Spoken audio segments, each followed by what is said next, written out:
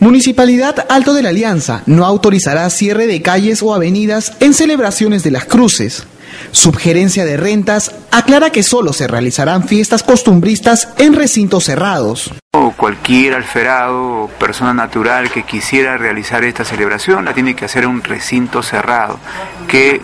tenga las condiciones de seguridad en defensa civil y tenga las garantías de el funcionario altoaliancista señaló que a pedido de Monseñor Marco Antonio Cortés, el municipio decidió poner restricciones de infraestructura, aforo y acústica a los locales donde se desarrollen las fiestas de mayo. Los alferados que incumplan la disposición edil serán multados hasta con 1.825 soles, pudiendo ser denunciados por desacato a la autoridad.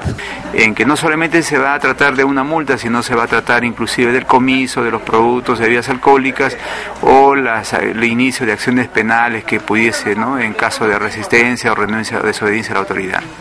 La medida que restringe el cierre de vías fue dispuesta en el 2012, año en el que solo se autorizó cinco fiestas de las cruces en locales cerrados. No estamos este, en contra de esa celebración, lo único es que queremos que la celebración religiosa se desarrolle dentro del marco de la espiritualidad que tiene por sí misma y con el orden y el respeto de las costumbres, de los derechos que también les asisten a los demás vecinos como es la tranquilidad